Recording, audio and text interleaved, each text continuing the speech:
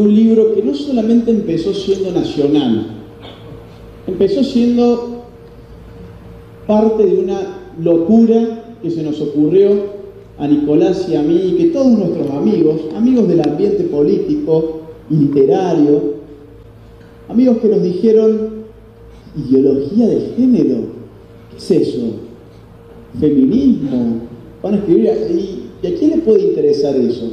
Esto fue más o menos hace un año y medio, un año y medio, quizás dos. El tema estaba, porque ha estado desde hace años, como vamos a tratar de explicar aquí, pero no había explotado todavía. Pero nosotros lo veíamos venir, lo veíamos venir fuerte y además queríamos sacarnos el gusto, teníamos el interés sobre estos temas. Toda nuestra breve carrera académica e intelectual se puede resumir en un combate sin, sin cuartel, sin ejército tampoco, contra la izquierda.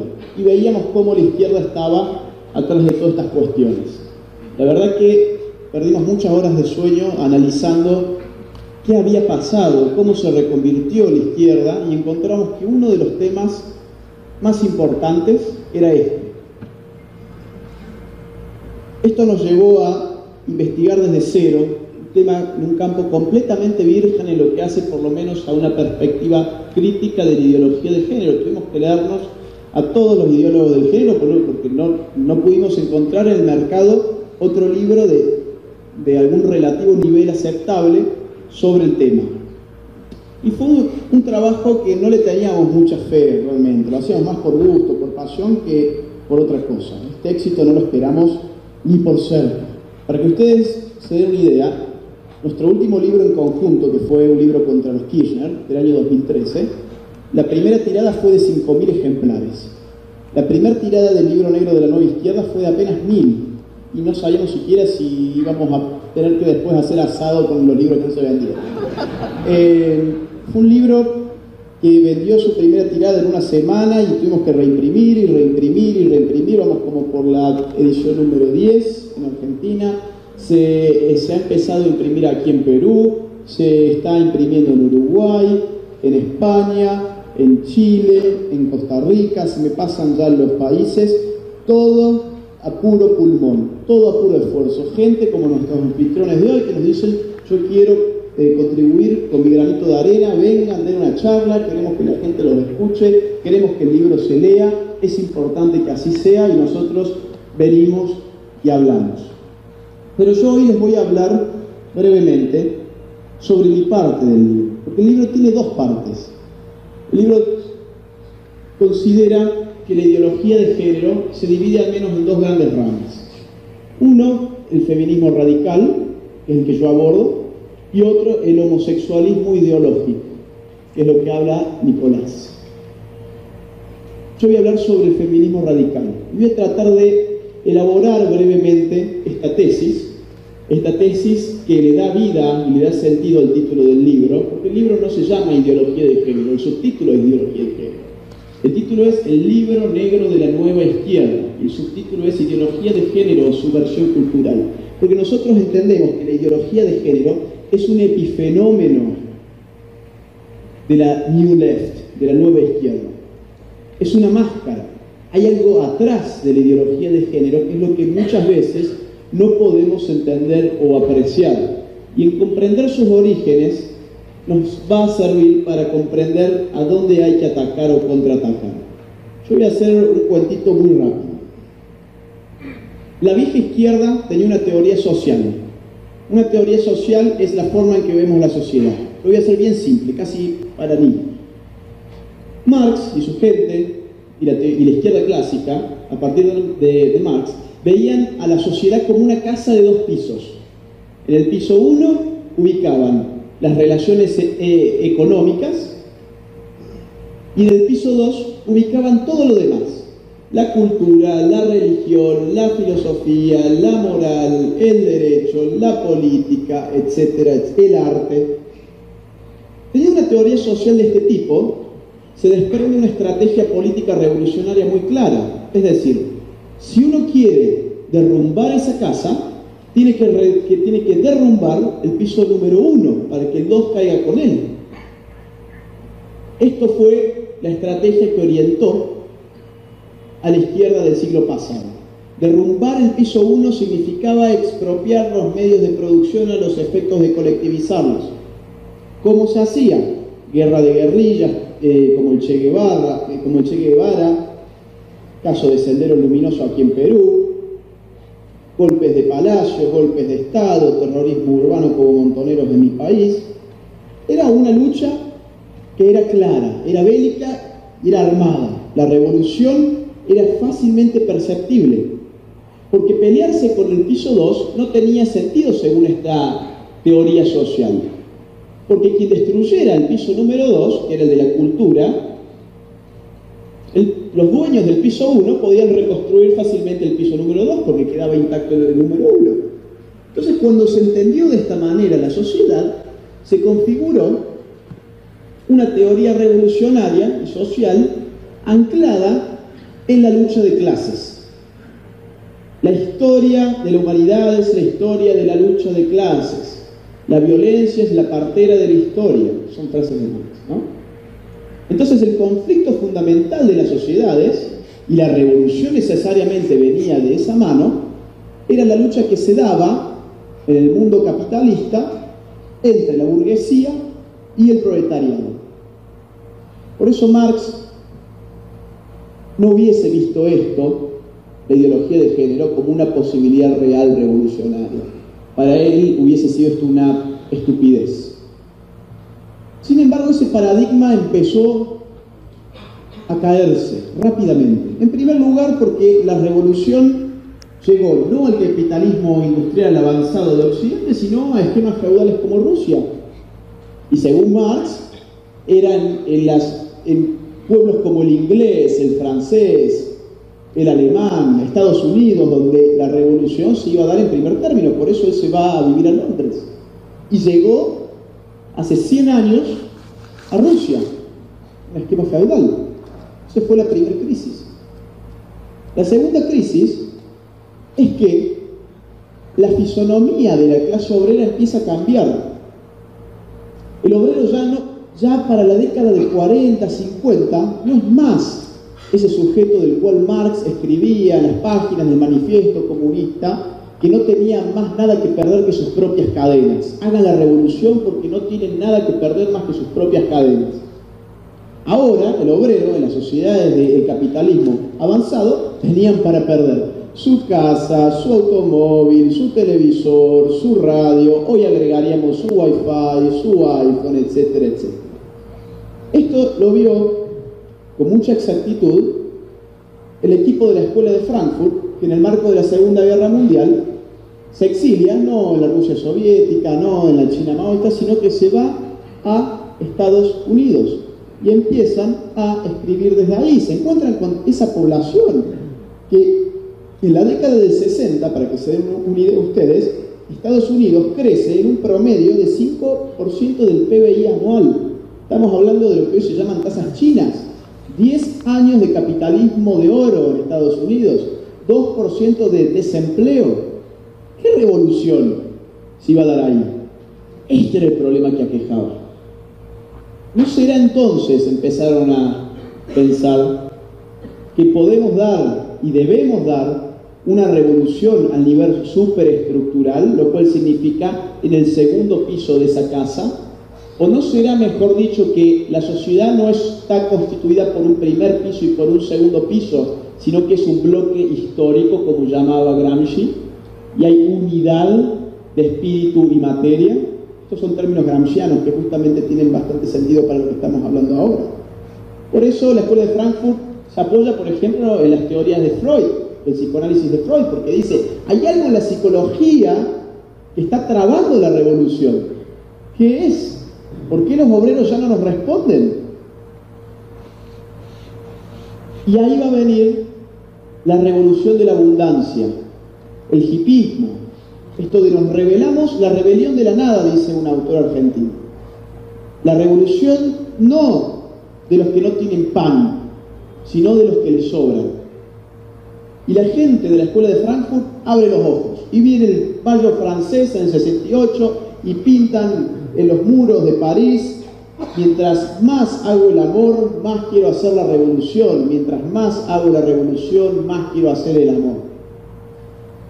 Y todas estas cuestiones se sintetizan finalmente. Esto lo van a leer bien en el libro. Yo hago un, repaso muy rápido. Estas cuestiones van a llegar a su clímax en Ernesto Laclau y su mujer Chantal Mouffe, que por ahí en una, en una nota de hace poco pusieron ah, en una crítica de lo de la Universidad Católica, dice, ¿vieron que dijo Ernesto Laclau y su mujer Chantal Mouffe? ¿Por qué no dijo Chantal Mouffe y su esposo Ernesto Laclau? Es un misógino. Hay gente que nació para ser estúpido. Miren, eh, va a llegar toda esta cuestión a lo, a lo siguiente. La nueva izquierda, si por algo se caracteriza, es por haber abandonado la lucha de clases y haberla desplazado en favor de la lucha cultural. Ahora, los sujetos políticos de la revolución ya no son aquellos que están definidos por su posición respecto de los medios de producción. Ya no hay más lucha de obreros contra capitalistas, etc.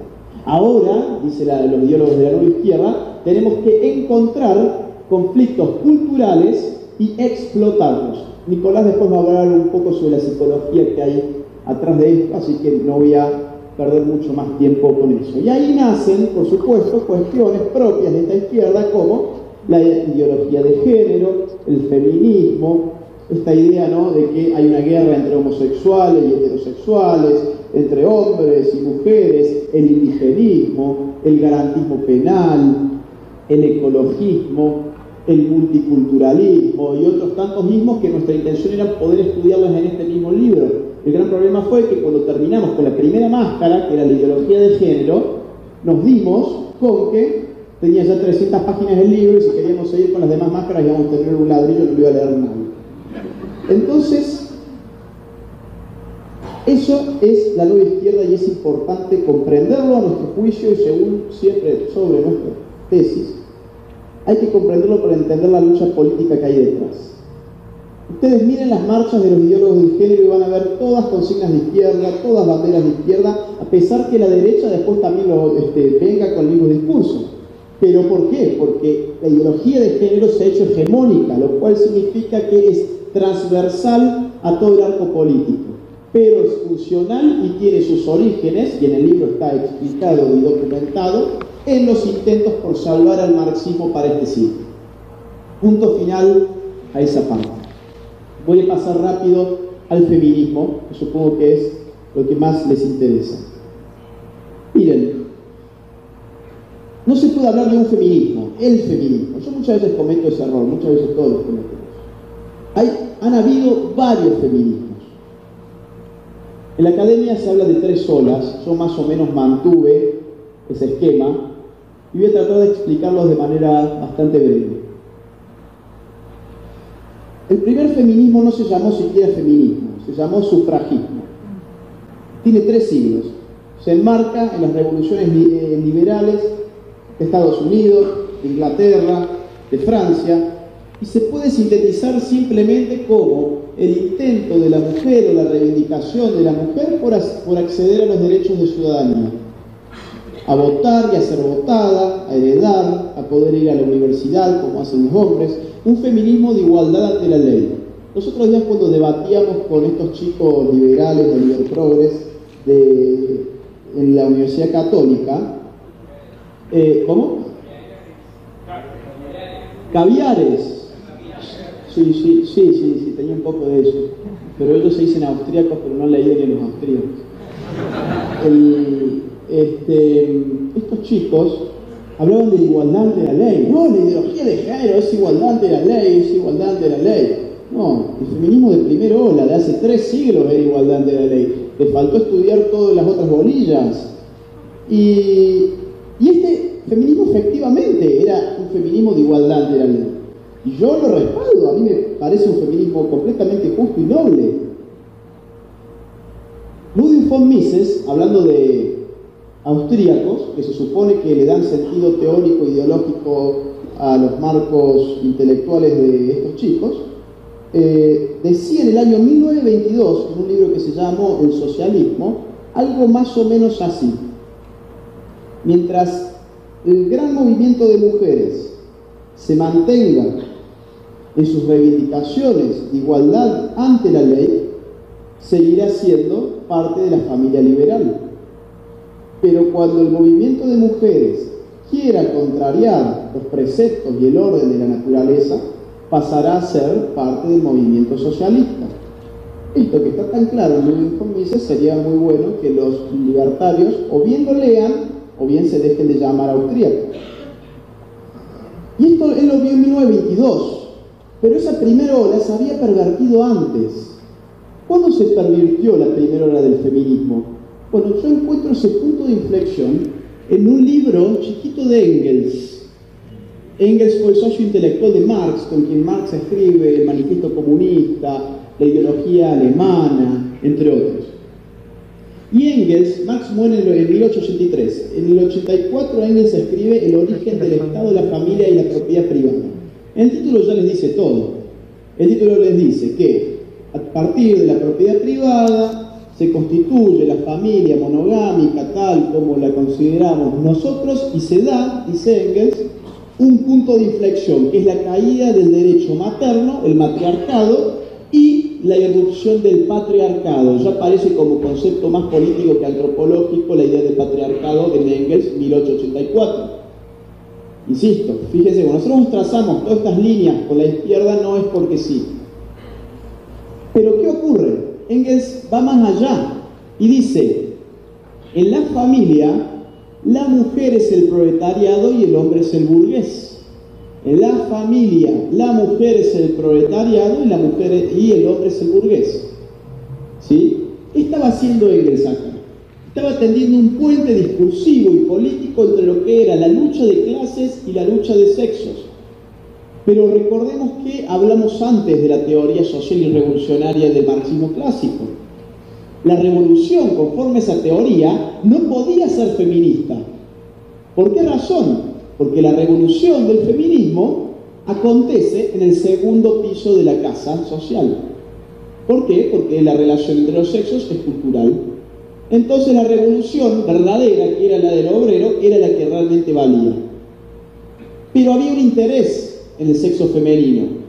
Si el patriarcado había sido el producto del nacimiento de la propiedad privada y la clase obrera tenía el destino histórico de abolir la propiedad privada, entonces la mujer, por simple lógica, debía aliarse a la clase obrera para hacer la revolución. Ese es el objetivo político de ese libro, decirle a la mujer, oiga, usted está encadenada por los mismos fundamentos que han encadenado las clases, a la clase obrera. La clase obrera es la única capacitada en dar la verdadera revolución, no usted.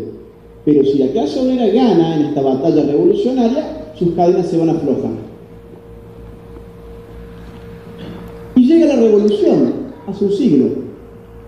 Y no voy a hablar mucho sobre eso, pero la mujer la pasa peor todavía en la Rusia de, de los soviets que en la Rusia de los zares. ¿Por qué razón? Están todos los datos del libro. Yo hago una breve historia de lo que fue ser mujer en Rusia. Pero solamente un ejemplo. Ahora las relaciones sexuales se empezaron a estructurar conforme a el discurso clasista. ¿Qué significa esto? Yo le decía alguna mujer de aquí, señorita, yo quiero tener relaciones sexuales con usted ahora. Y la señorita, por el motivo que sea, me decía, no, yo no quiero.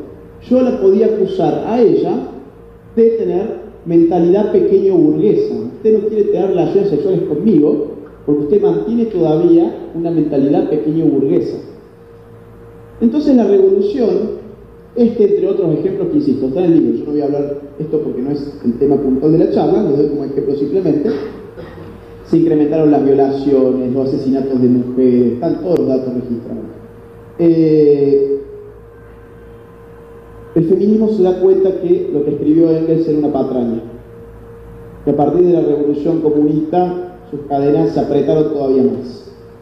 Y además, cuando vino Stalin, les metió una patada en el trasero a todas las feministas y a las revistas feministas, las mandaron a los campos de concentración, las exiliaron y no volvió a aparecer ninguna nueva feminista en Rusia de cierto nivel o relevancia hasta nuestros días. Esa es la verdad. Este es el fin de la segunda ola. ¿Dónde nace entonces la tercera ola? En Occidente. ¿Cuál es el inicio de la tercera ola? Que además es el origen intelectual de lo que hoy llamamos ideología de género, porque Engels y las sufragistas seguían hablando de sexo, seguían hablando de hombres y de mujeres. Nace la tercera ola, nuestro juicio, según nuestra tesis, con un libro que se llamó El Segundo Sexo, de Simón de Beauvoir, el año 48-49. Simón de Beauvoir, yo no voy a hablar sobre su libro, está hecha la crítica en la parte que corresponde de mi libro, de nuestro libro. Simón de Beauvoir inmortaliza ese texto con una frase que para nosotros es la columna vertebral de la ideología de género, que es la siguiente. No se nace mujer, llega un acervo. Seguramente la han escuchado. No se nace mujer, llega un acervo. ¿Qué dice con esa frase? No importa lo que una mujer traiga incluso intrauterinamente, es decir, antes de salir del útero, sino que lo que importa es cómo una cultura construye a la mujer. Esta es la lucha cultural de la cual les digo. Esta tesis se va a empezar a exacerbar. Muchos me dirán, no, no, no, pero ella estaba hablando del modo de ser de la mujer. Bueno, yo lo, lo concedo, yo lo concedo, pero se va a empezar a exacerbar con otras feministas de esta tercera hora que le van a seguir. Monique Wittig, por ejemplo, también de Francia. Además de hablar sobre la existencia en Occidente de un régimen de heterosexualidad obligatoria, cosa extraña, porque ella era homosexual, nunca estuvo presa, nunca nadie le dijo nada, y sin embargo ella hablaba del régimen de heterosexualidad obligatoria, y además era maoísta. En, la China comunista, los homosexuales los castraban y si reincidían en su homosexualidad los mataban. Ella miraba no vamos por ese régimen, pero hablaba sobre el régimen de heterosexualidad obligatoria de Occidente. Y ella era homosexual. Ella va a escribir, la mujer en verdad no existe.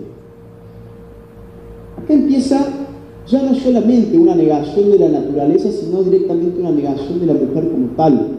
Ustedes me dirán, ¿cuál es el interés que, puede tener el feminismo, que se supone que su sujeto político es la mujer?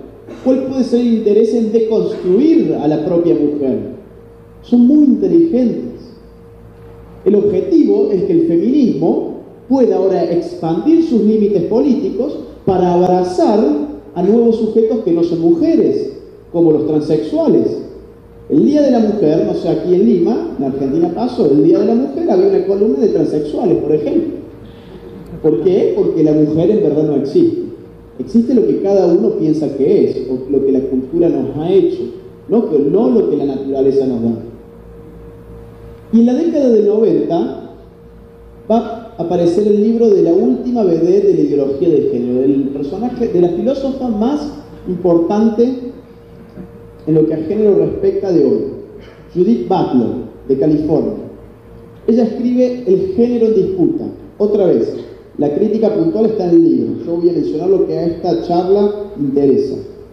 Ella allí dice, el sexo siempre fue género. ¿Qué significa esto? El sexo es la parte natural de nuestra sexualidad, el género es la parte cultural. Si el sexo siempre fue género, estamos afirmando que en verdad la parte natural de nuestra sexualidad tiene relevancia nula. Lo importante es lo cultural. Entonces, si uno tiene un malestar con su sexualidad, tiene por añadidura un malestar con la cultura. Y ahí es donde la izquierda viene a centrar su semillita de odio. Decirle, claro, si vos tenés un problema de identidad, si no te sentís cómodo con tu cuerpo, si no te sentís ser quien sos, en verdad no es porque vos tengas un problema, sino porque hay una cultura que te oprime, que responde a un sistema, unos valores, y tenemos que acabar con ellos. Nicolás, insisto, va a hablar un poco más sobre ese tema. Entonces lo que quiero dejar claro es que la ideología de género, esta evolución rapidísima que he tratado de hacer, no es otra cosa que la concepción anticientífica de nuestra sexualidad que la desarraiga de todo dato natural para dejarle la explicación simplemente a la cultura. La sexualidad pasa a ser pura cultura. Acá no vamos a afirmar la estupidez de que la sexualidad humana es solamente naturaleza, porque si eso fuese así, nuestras relaciones sexuales cualitativamente no diferirían en absoluto respecto de la que puede tener nuestro perrito en casa. Ahora bien, tampoco podemos explicar la sexualidad humana simplemente por la cultura, porque si fuese así seríamos dioses hechos a sí mismos. Y eso es lo que se está vendiendo hoy, que lo único que interesa en términos de sexualidad es la manera en que cada uno se autopercibe. Yo voy a hacer, he hablado mucho sobre teoría, y ustedes dirán, pero los teóricos están todos locos. ¿Qué importa lo que dice un filósofo en su torre de marfil, escribiendo con sus palabras raras sobre cuestiones que cuánta gente la va a leer, cuánta gente hay en el mundo, cuántos libros vendió Judith Butler sobre cuánta masa de gente. Bueno, créanme que lo que piensa un intelectual impacta. Y esto es una lucha que ha comenzado en la década del 60 por lo menos, como me refería anteriormente, y cuyos frutos, cuyos efectos estamos presenciando ahora. Lo que un intelectual escribe impacta. Cuando Marx y Engels escribieron el manifiesto para el Partido Comunista, su título entero fue El manifiesto del Partido Comunista, el Partido Comunista no existía, algo que seguramente pocos saben. Lo que existía era la Liga Comunista. ¿Cuánto era la Liga Comunista? 15 personas. ¿Qué logró el, manifiesto eh, comunista de, de, Marx y de Engels? Miren el siglo XX y van a tener algún tipo de respuesta. Tiene efectos. Todas estas tonterías que nosotros hemos llegado al absurdo de tener que recurrir a las ciencias médicas para poder explicar, ya después lo voy a contar, por qué no se puede tener un orgasmo frotándose el brazo, por ejemplo. Eso, eso está en el libro, yo tenía que pedirle a amigos médicos, che, dame algunos libros de fisiología, de anatomía. Nunca pensé tener que explicar lo obvio, pero lo tenía que hacer para poder responderle a feministas de la tercera ola y de la ideología pura.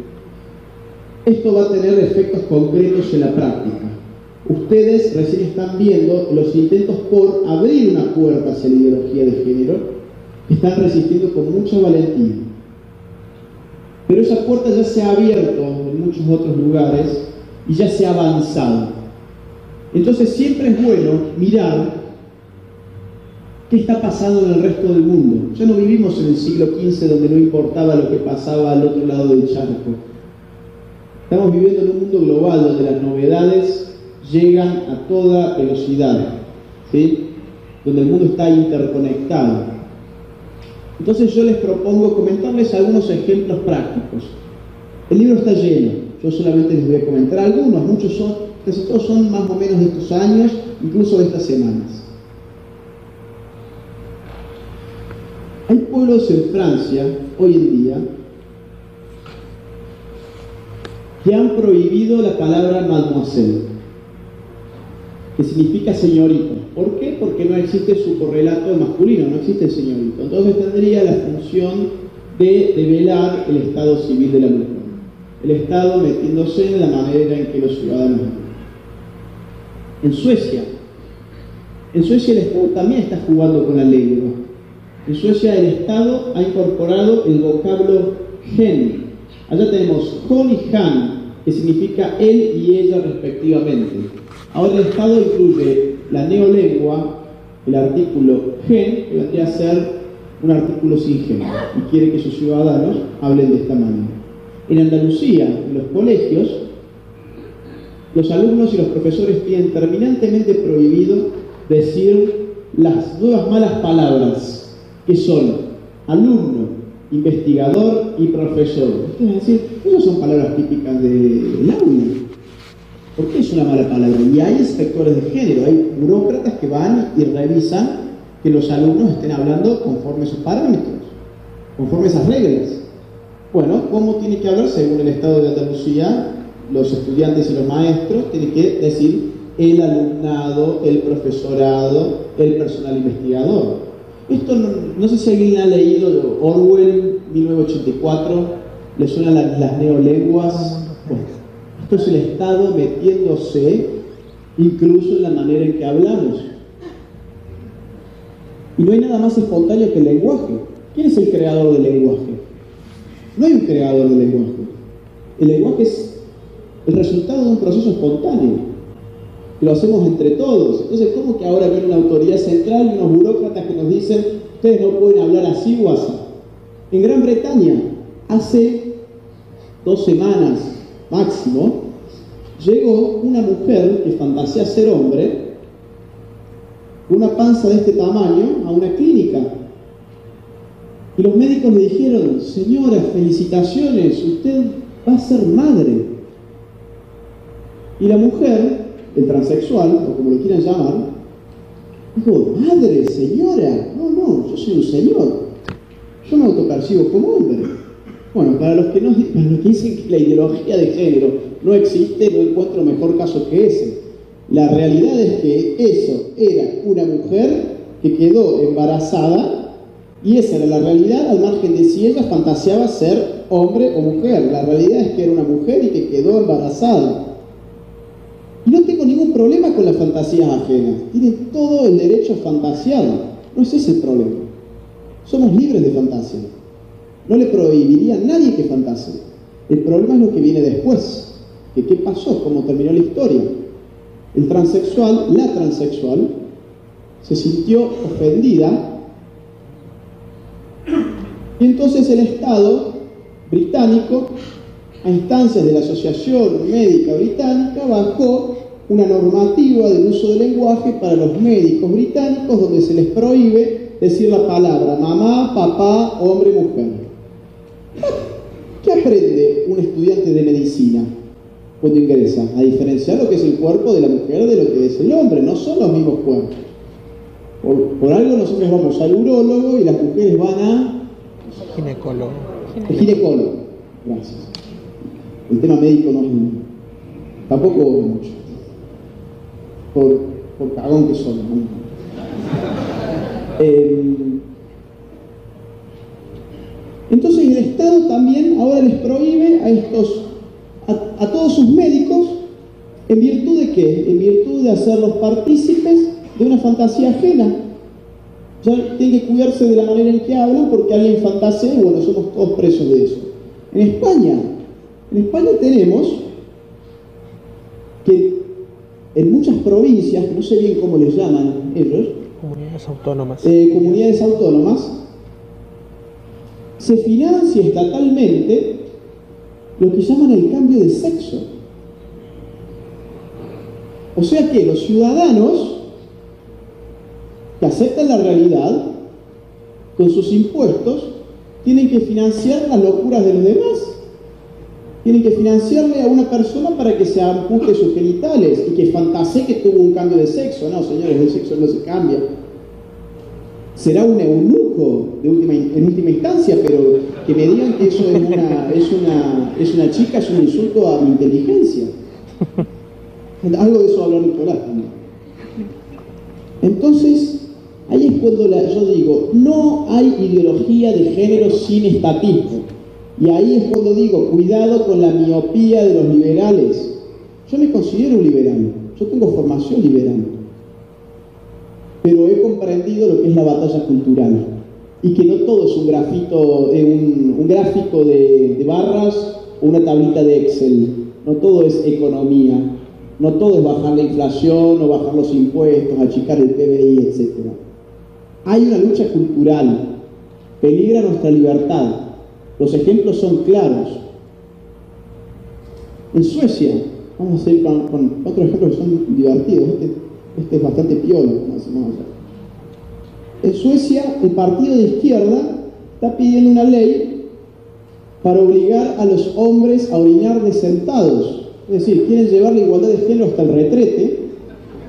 Y si lo hicieran, si lo hicieran para que no manchemos la tabla, estaría, estaría bárbaro. Pero, eh, pero, pero, ¿qué, pero ¿qué dicen? Dicen, no, es que hay una cosa violenta de género cuando el hombre se pone, se para y está ahí con su pistola, ¿no? Son estas cosas, viste, que tiene este feminismo eh, que, no, que nos hace reír. Es tragicómico. Es cómico porque nos da risa la ridiculez, pero es trágico porque están pidiendo una ley para eso. Ahora bien, lo hacen porque piensan que la ley se va a efectivizar. No, es imposible, es para inyectar el conflicto. El conflicto es el fin de la nueva izquierda, es el objetivo, es el oxígeno. En ese mismo país, el Partido Liberal está pidiendo la legalización de la necrofilia, es decir, las relaciones sexuales con muertos, y del incesto, es decir, las relaciones sexuales con familiares próximos, con mi mamá, con mi papá, con mi hermano. Después vamos a hablar por qué. En Canadá, Canadá se acaba de legalizar la zoofilia hace algunas semanas nomás. Eso sí dicen, cuando no, pero que no sea el hombre el que penetre a la bestia, porque también son buenos ecologistas.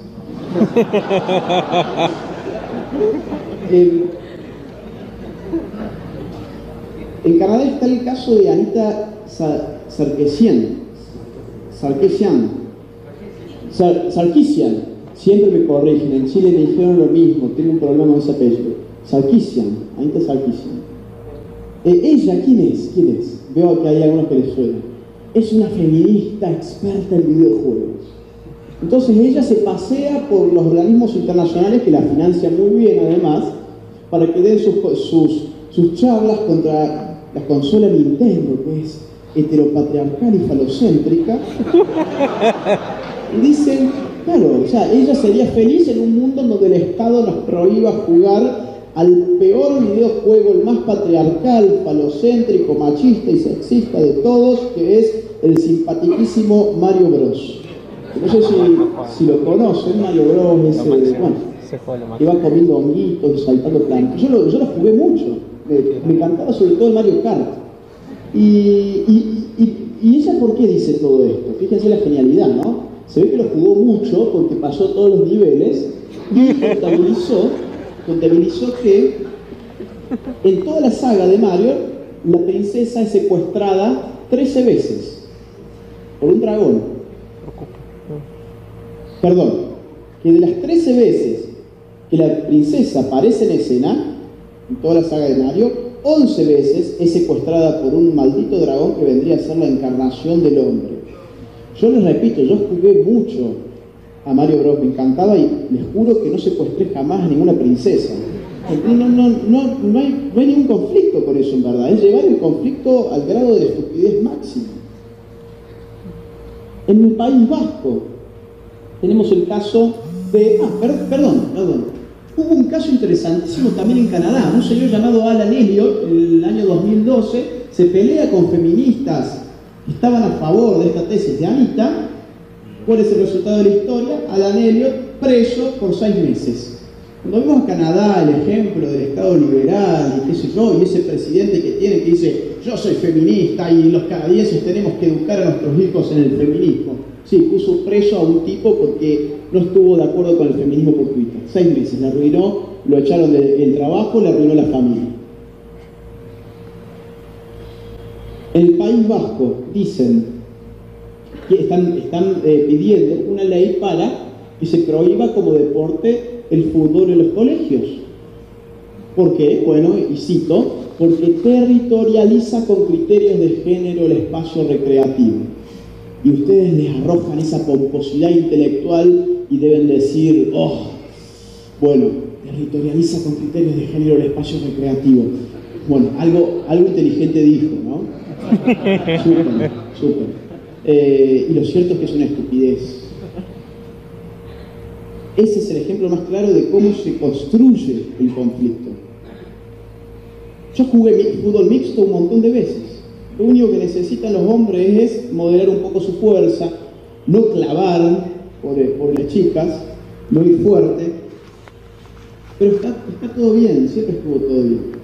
Y las chicas también pueden jugar fútbol. De hecho, en Córdoba se hacen ligas para chicas y son un éxito comercial. Les encanta. ¿Desde cuándo el fútbol es el deporte del macho opresor? ¿O no será que nos están enseñando a odiar ser hombres? Es el conflicto, insisto, donde, donde hay. Miren, en Estados Unidos, voy a, seguir con algunos casos más. Estoy ya embalado, ¿no? a perdonar un paso a un, minuto. En Estados Unidos hay dos casos interesantes sobre la homosexualidad, que involucra dos pastelerías, Ah, una en Colorado y una en Oregon. Los dueños de las pastelerías se negaron a hacer un pastel para Para boda homosexual. Claro, deben haber pedido, yo imagino, el muñequito que en vez de tener una chica tenga dos, a dos chicos, ¿no? Y dijeron que por cuestiones de fe o de valores no lo querían hacer. ¿Qué ocurrió? El lobby LGTB fue a la justicia y en Colorado, a la pastelería, la obligaron a hacer la torta. Es decir, la reducieron, la redujeron a la servidumbre. Porque alguien que no quiere hacer un trabajo y lo obligan a hacer es un esclavo. ¿Para qué? Para cumplir el capricho de estos dos homosexuales. Cuando bien podían ir a cualquier otro lugar y pedir una torta de alguien que se la quisiera hacer. Pero no, fueron al Estado. El Estado obligó a una persona que no quería hacer el pastel a hacerlo. Y en Oregon directamente le pusieron una multa de 130 mil dólares. Ahí es cuando uno empieza a entender que no hay ideología de género sin estapismo. Porque la ideología de género es tan contraria al sentido común, a la evidencia científica, que solo con arreglo a la más dura coerción se puede imponer. Por sí sola la ideología de género no existe. Es una locura. Por eso es que ha llegado a nivel estatal y nosotros tenemos que entender eso. Quiero ver si no se me pasa algún... Bueno, dos, dos ejemplos más. Dos ejemplos rápidos. Eh, mm, mm, mm, en España, no sé si vieron lo de Hazte Oír. El autobús... Claro. eh, una inscripción tan ofensiva como decir algo al mismo tiempo tan científico como Los niños tienen niños pene, tienen las pene niñas las niñas tienen vulva, que no tengan. ¿Cuál fue el resultado de eso? Coartar la libertad de expresión y de circulación, otra vez. ¿Por qué razón? Porque ofendía. ¿La verdad ofende? Y al mismo tiempo, es decir, vino un fiscal, secuestró el autobús, no pudo seguir andando. Tengo entendido que lo mismo pasó en Nueva York. Me han dicho que ha pasado lo mismo. Pero al mismo tiempo, la comunidad LGTB en sus marchas puede escribir hetero muerto, hetero heterosexual, hetero muerto, abono para mi huerto. Y está todo espectacular. Hay gente que lo aplaude. Y el otro ejemplo que les quiero contar es, de nuestro país, que es de la biela. No sé si alguien escuchó el tema, muy rápidamente se los comento. En Argentina hay un bar tradicional que se llama La Biela, donde van familias, donde va gente grande, un público fijo, un, bar de cierta calidad. Fueron dos lesbianas con un plan, porque ya lo habían tratado de llevar a cabo en Starbucks, de McDonald's, no les había resultado por el tipo de local que eran. Fueron a este, este bar, fingieron una pelea, se reconciliaron, empezaron los besos y los toquetones. Y el público se escandalizó y le pidió a los, y le, y le pidieron a los, a los mozos que tomaran cartas en el asunto y que pararan el show. Entonces los mozos fueron y le dijeron, este, oigan chicas, guarden las formas, que estamos en un lugar eh, privado este, que tiene sus, sus normas, digamos, eso en criollo vaya un tema, ¿no? El- no sé cómo le dicen acá. Y de la misma forma. el, el- el hecho, el hecho es que ahí empezó el escándalo. Cuando le dijeron eso, a la vuelta de la esquina estaban todos los medios ya armados, entraron a filmar el bar homofóbico, ah, qué sé yo, vinieron todo el scratch, todo el scratch salió por los medios, etcétera, y con Nicolás, a los pocos días andábamos por la zona. Fuimos un día a hacer un reconocimiento y una investigación del, caso, que no se los voy a contar ahora, pero la pueden buscar por internet. Y al día siguiente volvimos con la intención de regalarle algunos libros a los mozos. Entonces, eh, se nos acerca el jefe de los mozos y nos dice, mira, a veces esa mesa de allá habían juntado varias veces. Estaban todos los mozos sentados con dos tipos. Esos dos tipos que están con mis compañeros son del gobierno de la ciudad de Buenos Aires y le están imponiendo clases de género. Los mozos, claro, lo están reeducando, lo están adoctrinando, frente a toda la clientela con la humillación que significaba eso. Entonces uno no puede sacar los pies del plato, que incluso van a venir dos burócratas a lavarte la cabeza como hicieron efectivamente en este caso. Y con Nicolás agarramos el celular, eh, verán que no tenemos medios nosotros, tenemos un celular que, bueno, me quedó ahí, está todo roto, pero este, íbamos con el celular, con los libros, le rompimos, enfrentamos a los, dos, a los dos tipos que estaban enseñando estos disparates, enseñándolos, imponiéndolos, les regalamos los libros a los mozos y les dijimos, esto no lo están pagando ustedes con sus impuestos, esto, el costo de estos libros corre por nuestra cuenta. Pero ¿saben qué? Ustedes sí le están pagando el sueldo ellos dos para que les mientan acá. Ustedes pueden leer si quieren también nuestro libro, o pueden si quieren hacer el fuego del asado con nuestro libro. Nosotros se lo regalamos, ustedes hagan lo que quieran. Pero ustedes no pueden no escucharlos a ellos, porque si no los escuchan a ellos, los echan de su trabajo. Todo eso está filmado, si lo quieren después buscar por YouTube, es un video bastante divertido. Lo que quiero decir, estamos en una dictadura de fe. Estamos en una dictadura de fe. Entiendo que ustedes están dándole gran batalla antes de que llegue aquí con toda su fuerza. Pero hay un tema más que me interesa y es el de la pedofilia.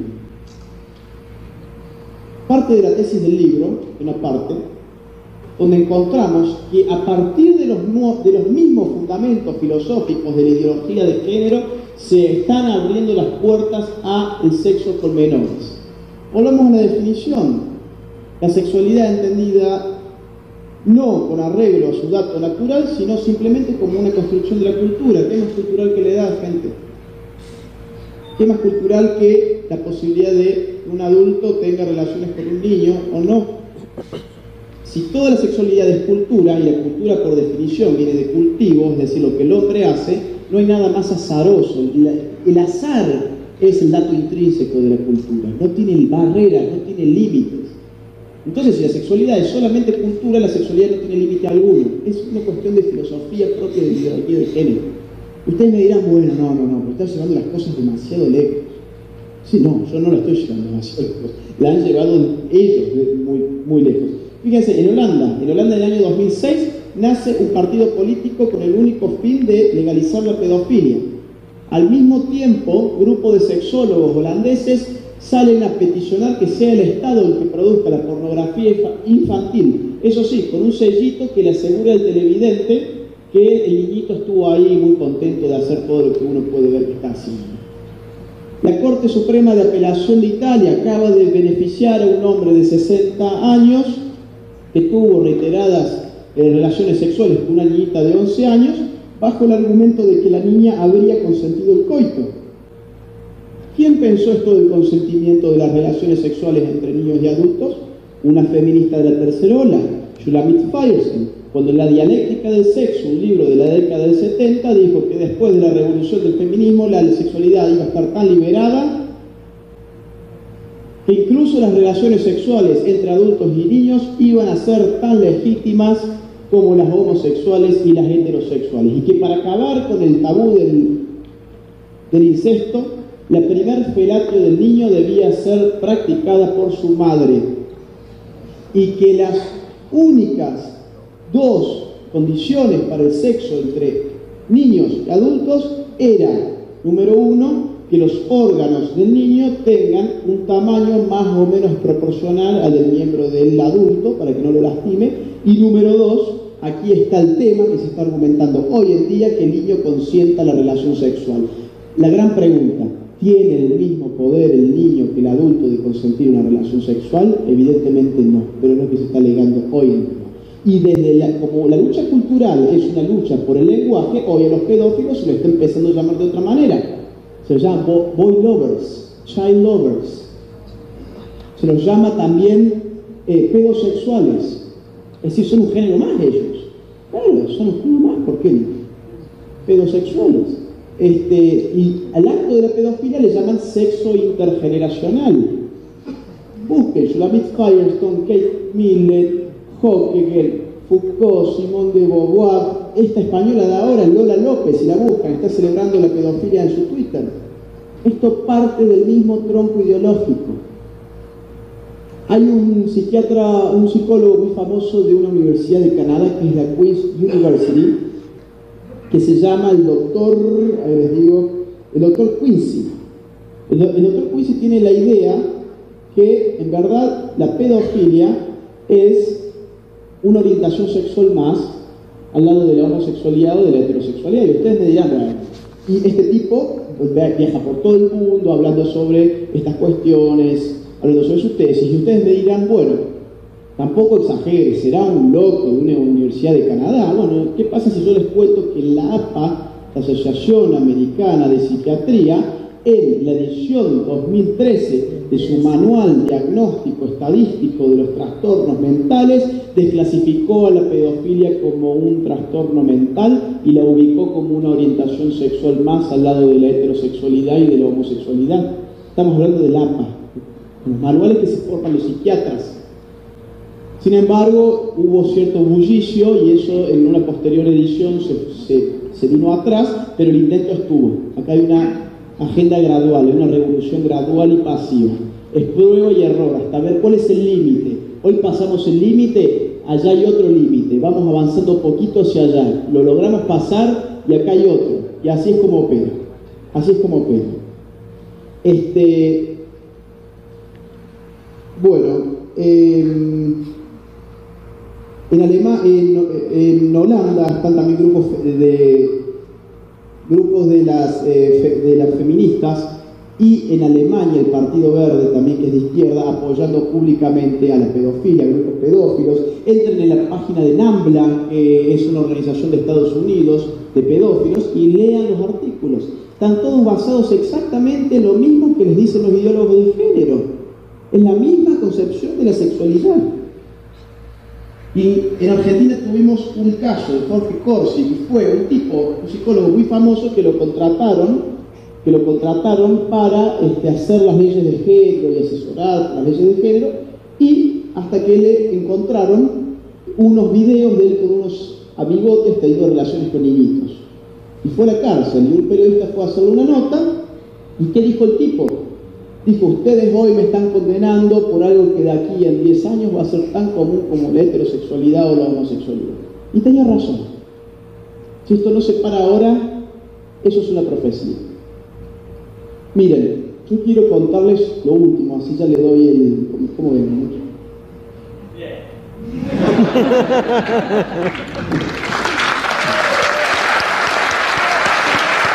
Bien. No, yo, yo digo por eso, yo eso ofende. Eh, estas cuestiones, insisto, tienen su dimensión tragicómica. Tiene una parte cómica, una parte trágica. Probablemente ustedes acá en Perú ya tengan lo que se llama post-porno. ¿Alguien sabría si acá ya hay post-porno? ¿No? ¿No? ¿Perdón? Bien hay algo de post-porno. En Chile, por ejemplo, que he estado ahí la semana pasada, eh, hay un grupo de gente que se infiltra en todas estas cuestiones. Eh, hay gente que después piensa que yo soy de la CIA por contra de estas cosas, ¿no? ojalá fuera de la CIA, si no dirían que pagan muy mal. estos, eh, estos chicos se infiltran y el post-porno, por ejemplo, en Chile ya existe.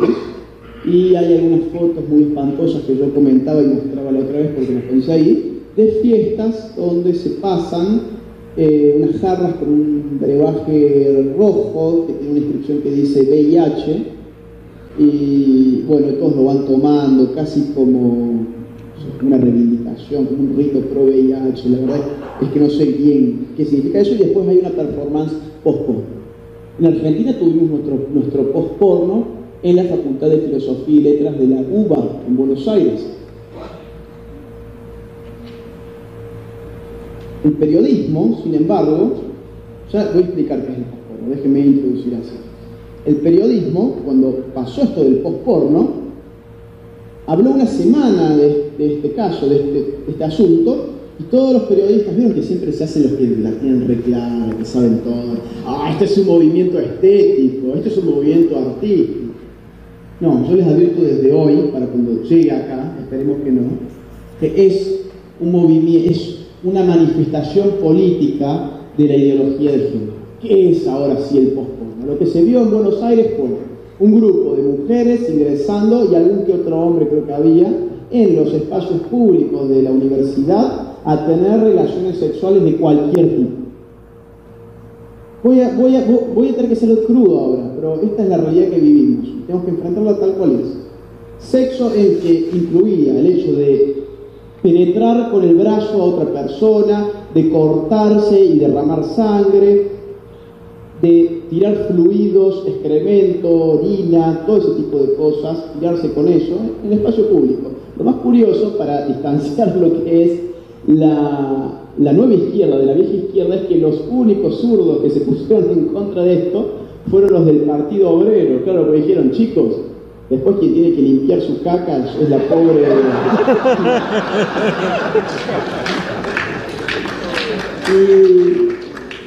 y, y fue así, usted le parece, pero fue así y tenían razón.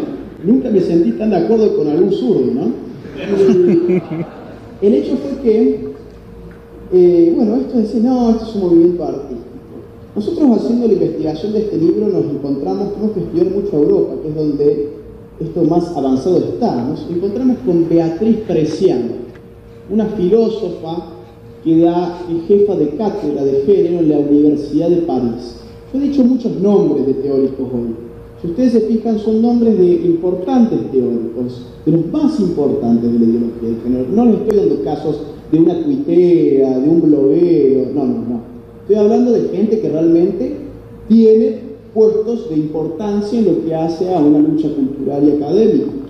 Beatriz Preciado, entre otros libros, Nico ya va a contar otro, tiene uno que se llama El Manifiesto Contrasexual ¿Cuál es la gran tesis de Beatriz? Que ahora se hace llamar Paul y se deja un bigotito que, no sé si es falso, si inyecta alguna hormona.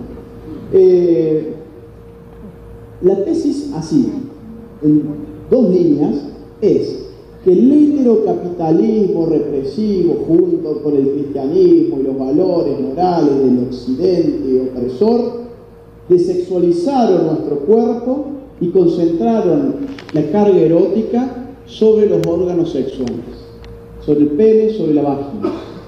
Entonces nos prohibieron otro tipo de placer sexual con el resto del cuerpo para concentrar el sexo en la reproducción. Somos presos de eso. Entonces el movimiento del feminismo, el movimiento queer, como le llaman también, que es un paso más allá todavía, en el libro ahora no, no voy a hablar de eso, una de las tácticas de la revolución es hacer prácticas contrasexuales. ¿Y qué son las prácticas contrasexuales? Bueno, en el libro ella da una especie de lista de 10 técnicas, más o menos, 10 o 12 técnicas. ¿Cómo masturbarse un brazo? Lo que les dije. Bueno, y entonces uno parece que está leyendo este, una receta de cómo hacer un pollo, ¿no? Porque dicen, este, paso número uno, eh, a, los, a los dos segundos haga tal cosa, al minuto tres haga lo siguiente, y así, y culmina en, al minuto ocho, finja un orgasmo. ¿Cómo masturbar el cuero cabelludo para sexualizarlo? Bueno, haga esto, haga aquello, frótese un lindo por la, por la cabeza, eh, y al minuto X finja un orgasmo.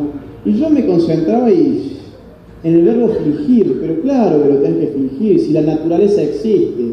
No es el heteropatriarcado falocéntrico y opresor el que te impide que tengas un orgasmo con el brazo o con el cuero cabelludo, es la naturaleza. Y entonces caí en la estupidez de tenerme que poner a explicar por qué podíamos tener orgasmo con ciertas partes del cuerpo y no con otras.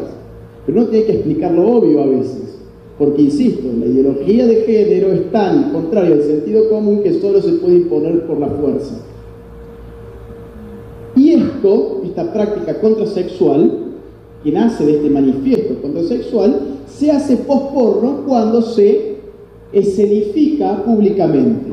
Voy a contar rápidamente ya con esto voy a hay antritos en Europa, seguramente acá Quizás haya ya y no los conocen, en Chile hay, en Argentina hay. Eh, se juntarán 30 personas un escenario chiquito, vienen este, chicas feministas, por lo tanto muy poco bonitas, con, este, con, algún que otro chico, ¿no? A veces sí, a veces no.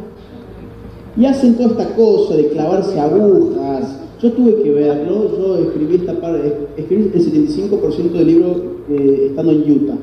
Y yo cuando llegué a esta parte digo, ¿qué hago? ¿Lo veo o no lo veo? Pues esto, estos, videos son propios de la Deep Web.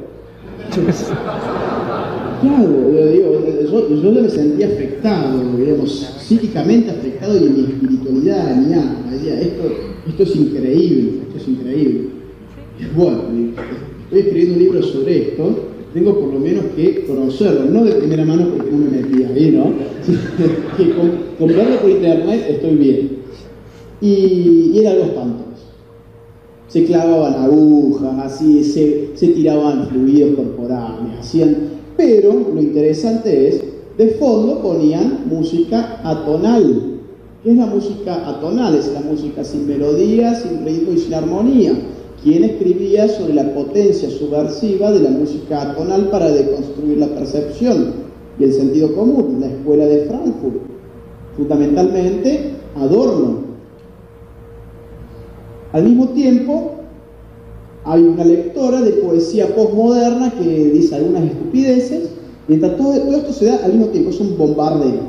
Y de fondo, una eh, pantalla como esta, donde al público, por si no le faltara más, le pasan videos de abortos, de mutilaciones, de decapitaciones y el fin del cuento que todos vamos. Este, eso es el post Y ustedes me van a decir, pero ¿con eso van a hacer la revolución? No, no, no. Tampoco seamos ingenuos. El post-porno no es la guerra de guerrillas del Che Pero ¿qué ocurre? El post-porno inyecta el conflicto, el post-porno, dice, oiga, su cuerpo es erótico, enteramente erótico, integralmente erótico. Si usted no puede gozar de clavarse una aguja en la frente, es por el heteropatriarcado capitalista, etcétera, etcétera, que hizo que usted tenga esa opresión. Entonces, fíjense otra vez, la construcción del conflicto por el conflicto para seguir dando oxígeno a esta nueva izquierda que no tiene un proyecto positivo, no hay una sociedad en, vista, es la destrucción por la destrucción misma. Yo quiero cerrar felicitando al Perú, felicitándolo porque aquí están haciendo la reacción contra todas estas cosas. Y espero, espero que se mantengan firmes, espero que iluminen al resto de América Latina en esta cruzada contra una dictadura que es subterránea, pero que tenemos que ponerla en evidencia. Muchas gracias.